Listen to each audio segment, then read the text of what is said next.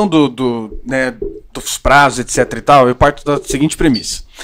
Quando tá organizado, é, tem gente que fala, é irreal, né? A gente tá vendendo a coisa. E, e quando não tá, reclama porque, porra, né? Fui, fui pego, né? Fui surpreendido. Mas no fundo, no fundo, eu vou voltar aqui para o que a gente já falou lá no início do evento, né? Ah, a perspectiva de concurso no Brasil é sempre dessa forma, né? A perspectiva não, a realidade de concurso é sempre dessa forma. É criada uma expectativa, porque o órgão tem que se organizar e mostrar para né, é, é, o governo atual quais são as previsões dele com relação a, a provimento de vagas, etc e tal, a criação de cargos, as necessidades e tudo mais. Se vai efetivamente se concretizar, só o tempo dirá, de fato. Mas nós trabalhamos aqui com curso preparatório para concurso, com várias pessoas que foram aprovadas, tanto fora quanto dentro, né? Os professores que aqui estão foram aprovados em vários concursos, os alunos que aqui passaram, né? São muitos, enfim. E a gente trabalha com essa perspectiva de longo prazo, médio a longo prazo. Eu comecei a explicar aqui um pouquinho como funciona a, a essa mentoria que a gente está fazendo dentro do Som Mais. Pediram para eu informar aqui, inclusive, que há um grupo do Telegram para todo mundo que algum dia adquiriu o Sou Mais. A pessoa tá lá. E lá aparecem essas informações. E eu já vou adiantar aqui. Tá uma previsão agora para o mês de maio para a gente começar a turma Bravo.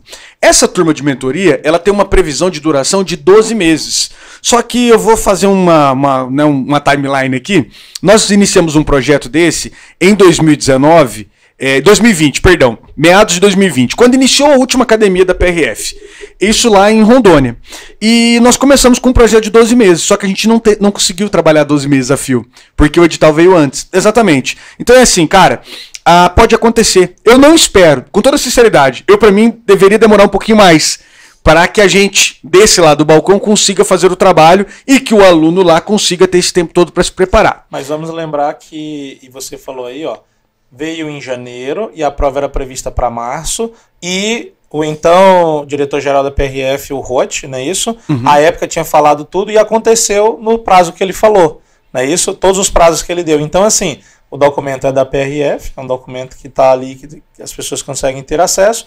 Então, é possível sim que o edital venha em setembro e a prova venha em novembro. É só o lastro do meio da eleição ali em outubro, né? Exato. Tiradas a eleição ali. Então sai um edital ali no começo de setembro e a gente espera uma prova no final de novembro e Deus abençoa, né? É, mas aí, aí eu venho aqui. Já... Mas vamos torcer para que. Aí, olha aqui, ó, vamos torcer para que aqui em condições de pandemia foi adiada as provas e as provas aconteceram em maio, ou seja, quatro meses depois. Mas eu me lembro do, é... da saída do edital, ou seja, tivemos um prazo maior. Isso viraria a prova para janeiro de 23 Exato. Tem seu tempo. É porque teve, teve um outro momento que saiu uma documentação dessa também, que foi o ano de 2019, quando teve concurso.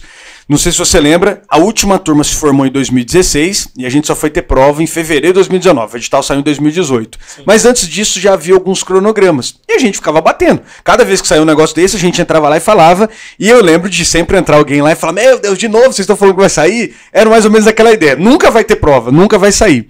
Mas eu insisto. Eu falo, cara, o nosso papel é vir e digerir essa informação junto com vocês. Sem putaria, sem nada, sem ficar aqui falando, nossa, vai ter necessariamente. Mas é, é, é, é, um ponto que nós temos obrigação moral de fazer, né?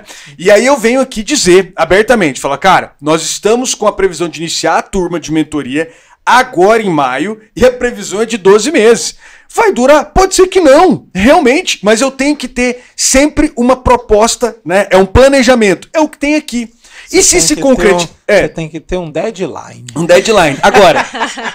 tá difícil hoje, Renato. É, agora vamos só. Eu, eu, Alguém traz um dicionário pra ele. Mas, mas a, a, dentro disso que você falou, me veio aqui o pensamento agora. Cara, a PRF, ela só tem uma porta de entrada. Ninguém entenda errado o que eu vou falar, mas ela só tem uma porta de entrada. Todo mundo entra pelo mesmo lugar, diferente da PF que tem uma estrutura diferente.